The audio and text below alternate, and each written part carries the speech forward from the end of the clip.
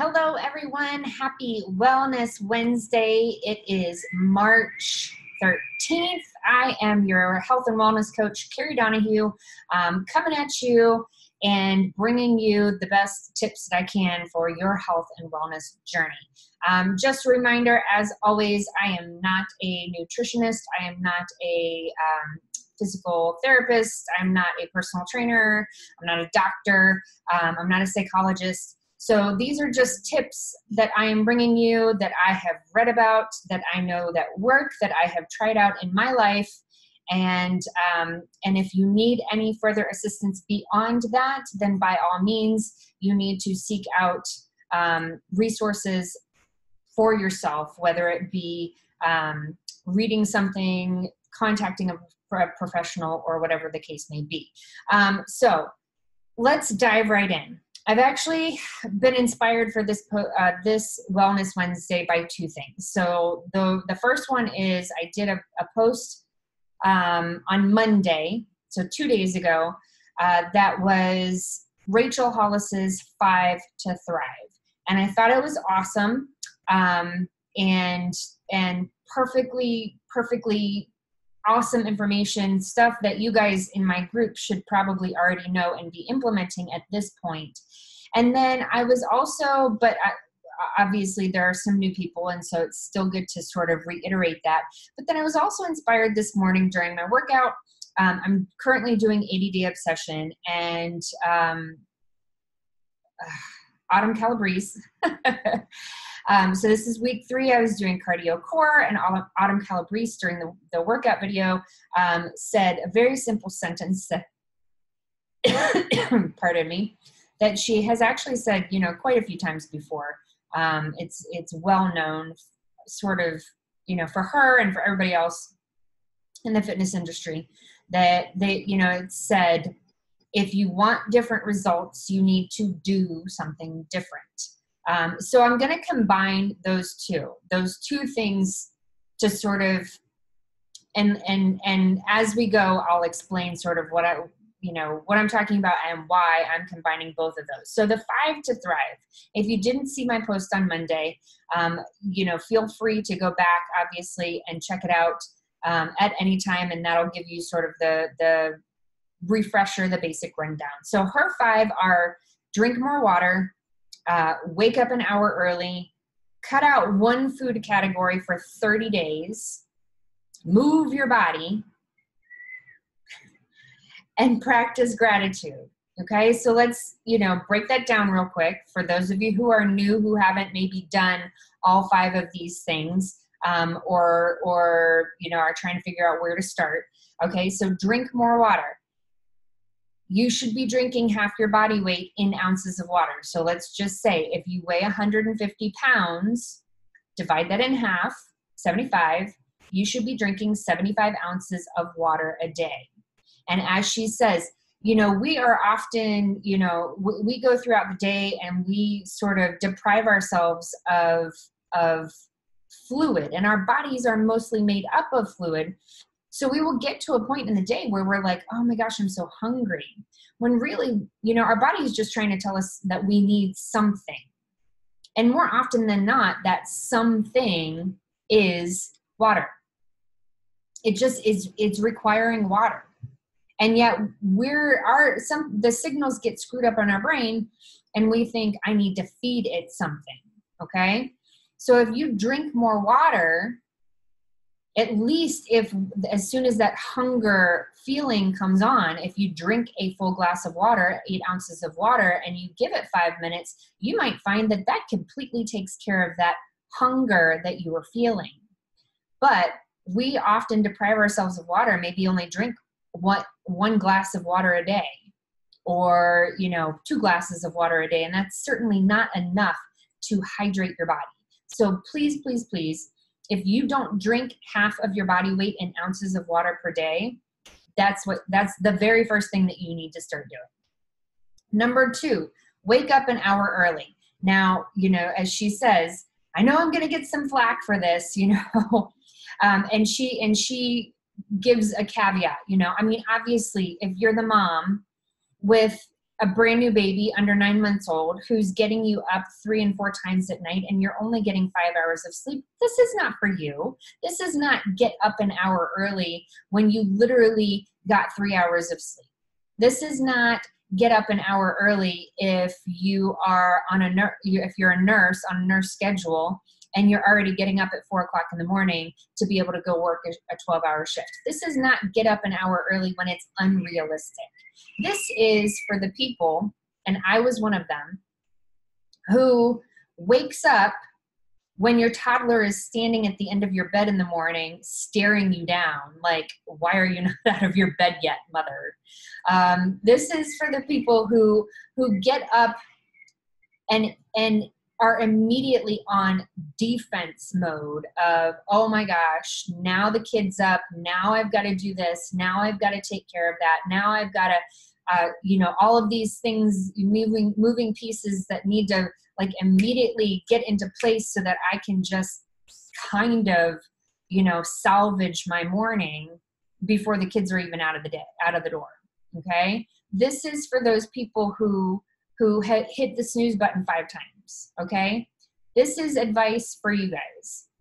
Get up first. Be the one to get up first. Get up an hour early and do something that feeds you.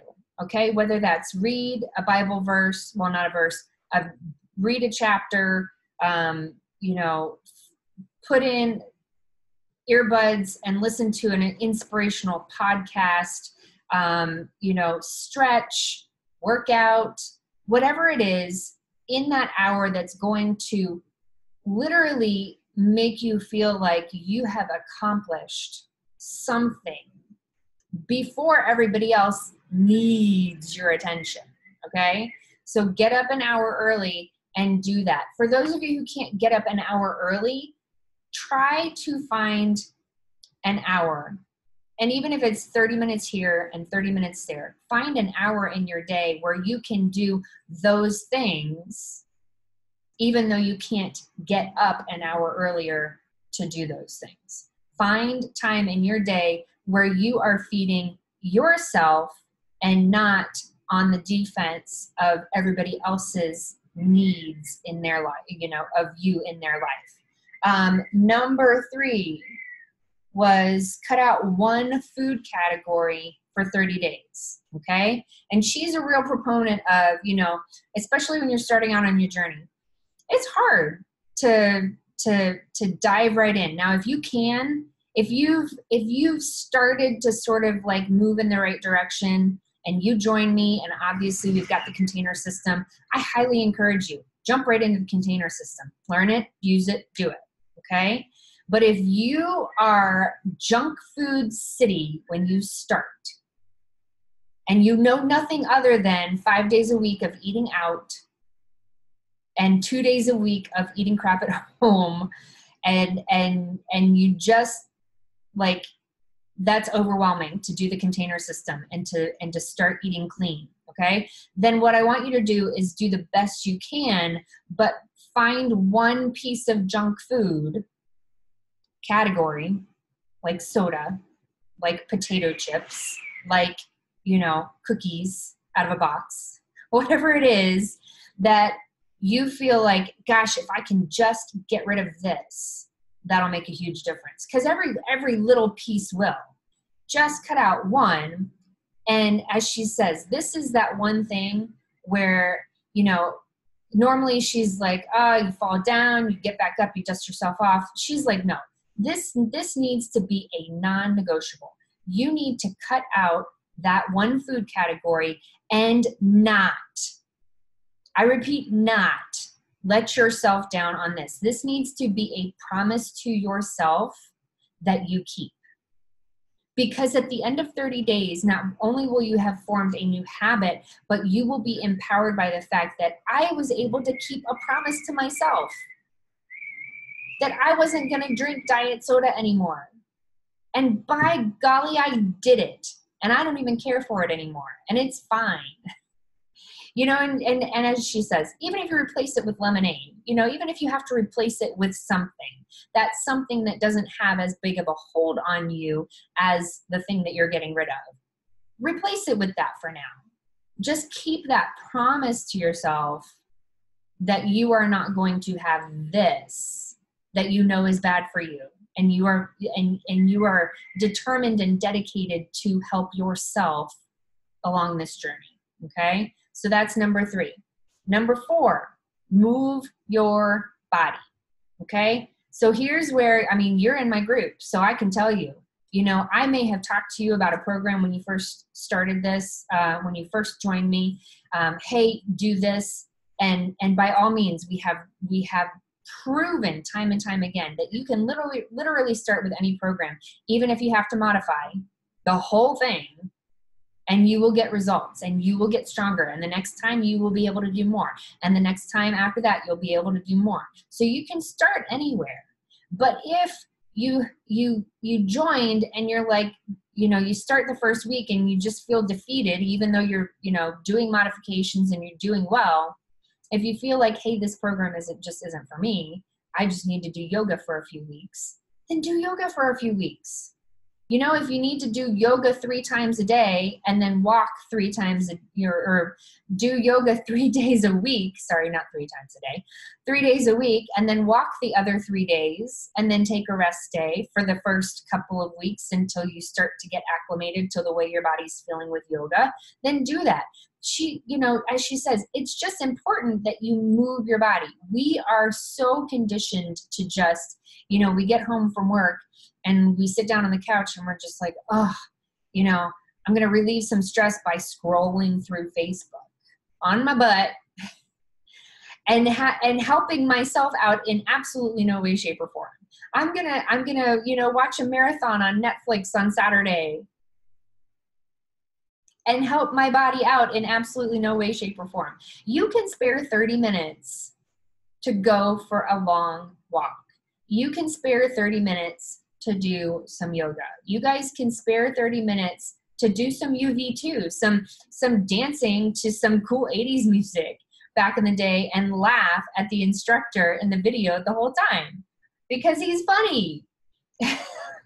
you guys can spare 30 minutes. Move your body 6 days a week, okay? And then number 5, practice gratitude, okay?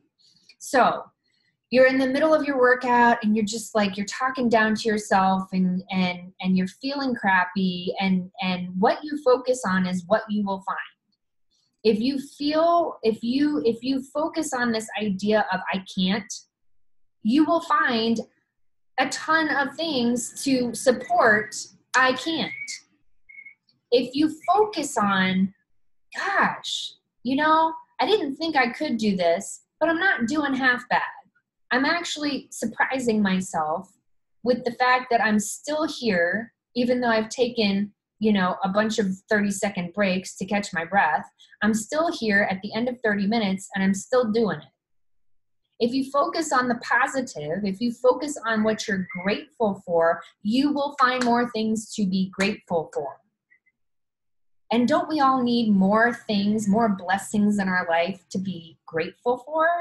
So don't focus on what's not there. Focus on what's there and be grateful for it and and and just watch your blessings multiply. Because the more you focus on what you're grateful for, the more you will see all of the things in your life that you have to be grateful for. Like the fact that I'm grateful for these four walls right now protecting me from that crazy wind. I'm grateful for that heater behind me that's keeping me warm because this window is letting in all the cold air. Okay, I'm grateful for the fact that I can breathe.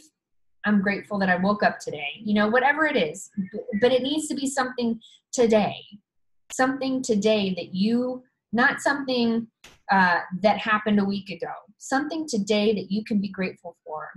10 things so that you will start to notice throughout the day you will start to look for those things to, things to be grateful for and it will improve your mood so much. So here's where i get into the next part. I'm gonna just jump right into it. Okay that's five to thrive. When you're first starting out those are five things that you should be doing to to begin to thrive on your health and your wellness journey. Okay? What if you've become a seasoned pro at all of the things that you've implemented? Okay? You've you got the 5 down, okay? Uh, you've cut out a ton of junk food one by one by one until you know now you're eating pretty darn clean and only having treat days every every once in a while. Maybe now you've you've gotten to the point where you're pretty good at you know starting a program and finishing it even if it takes you a little while okay? Now you need to look for those areas where you can improve okay? It's sort of like you know find find a junk food category that you can cut out for 30 days. Find an area where maybe you're like here and you're like wow i never thought i'd get here and this is so awesome but i've been doing it this level for the last three months and I've obviously plateaued. Now you need to find a way to bump it up. Okay? Gosh, I've gotten really good at these push-ups on my knees. Oh my gosh, I can I can bust out 10 of them. No problem. Well, now you need to to when you start doing push-ups, try the first one on your toes. If you can do the first one, do the second one on your toes do as many as you can on your toes until you're like, oh my gosh, I got to go back to my knees. And do that every time that you do push ups. Try as many as you can on your toes until you have to go back to your knees. Okay? Maybe you got to a point to where you're really good at getting in your workouts five days a week. And obviously, if you get sick, you know, if if the baby kept you up, up half the night, um, whatever it is, if there's something legitimate that you um, cannot get your workout in that day, fine. But if you've sort of become this consistent, inconsistent person of every week you're able to get in three to four consistently, but you know, on the fifth or sixth workout, somewhere in the week you're you're constantly just not getting it done, or you're constantly just, you know, oh, you know, not this morning. Maybe I'll get it in in the evening. And you do get it in the evening, but you know, it's not it's not that ingrained in you. It will be done at this time of the day. Then maybe bump it up and maybe be like, I'm gonna I'm gonna keep this promise to myself for the next two to three weeks of I will absolutely always get it in at six o'clock in the morning, and there's no excuses unless I get sick or the baby keeps me up half the night. Um, because there's legitimate excuses and then there's you fall into a routine of always having an excuse of some sort of why this is sort of like your new routine okay? Maybe uh, you've been really good at eating really well for four days a week but three days a week you have treats or you go out to eat with the family and you're and you're sort of eh on it. Then it's time to bump it up and say six days a week i'm going to be on. And i'm not going to eat the food off of my kids plate when they're done with it. I'm not going to do this that or the other thing. And only one day i'm going to treat myself. Okay? Whatever it is now is the time. If you want different results if you want to get out of your plateau if you want to get beyond the level that you are at then you need to do something different. And it's going to be it's going to be customized to you. It's going to be wherever you're at, find that thing for you that's going to take it to the next level and do that something different. Okay? I hope this helps you guys um, for the, I hope it helps all of you. For for those of you of you that are just starting out, and for those of you who've been with me for a while, and and maybe just sort of like feeling like in this normal like ah da da da I'm doing this healthy thing, but you know I've sort of just gotten to this level where I'm not moving past it. I hope this helps all of you. Um, I super duper appreciate you dealing with all of the noises around me. If you can hear them, if you can hear the wind outside or the heater behind me, I super appreciate you being able to to to cope with those and listen through those and and and and stay with me. Um, and i hope you have a fantastic wednesday. We're almost halfway through march. Um, i can't believe we're already this far into the year but have a great hump day. Have a great wednesday and i will see you guys next time. Bye bye